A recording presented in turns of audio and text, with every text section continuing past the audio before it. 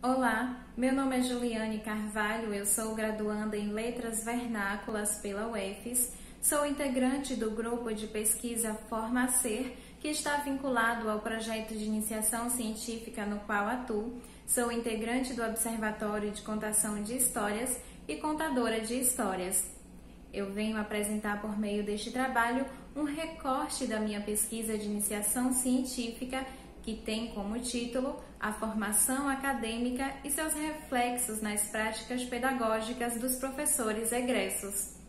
Na introdução, eu discuto a respeito da desarticulação entre a formação inicial de professores em relação às práticas pedagógicas adotadas pelos professores formadores e as práticas pedagógicas fomentadas pelos professores egressos.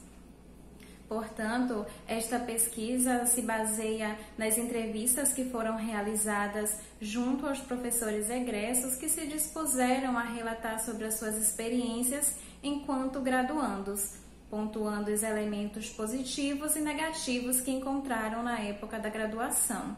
Assim, a pesquisa tem como objetivo refletir a respeito das implicações dos cursos de licenciatura nas ações pedagógicas promovidas pelos professores egressos nas salas de aula. A pesquisa tem como método uma abordagem qualitativa e assume aspectos da etnopesquisa, pois nos possibilita estudar o fenômeno situado, como afirma Marcedo, pois a gente toma experiências vivenciadas pelos licenciandos para refletir acerca das práticas de ensino fomentada tanto pelos professores formadores quanto pelos professores egressos, possibilitando assim uma reflexão sobre o ato de ensinar.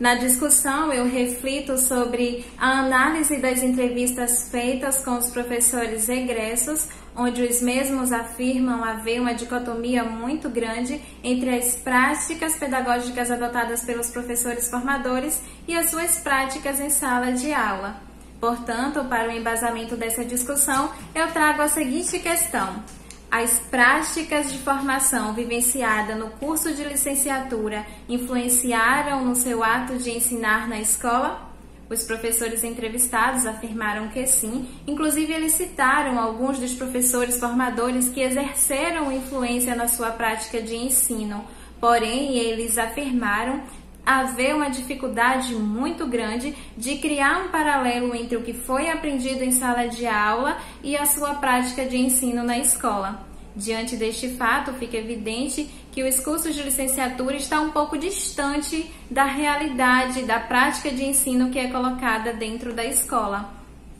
E como foi colocado por Libânio, é importante que os professores estejam sempre refletindo sobre a sua prática de ensino para que este possa se aprimorar ao longo do tempo e melhorar. Diante desse discurso dos professores entrevistados, chego à conclusão de que há uma necessidade de se reavaliar as práticas de ensino dos professores formadores no intuito de aproximar um pouco mais o contexto universitário da sala de aula onde os professores egressos irão atuar.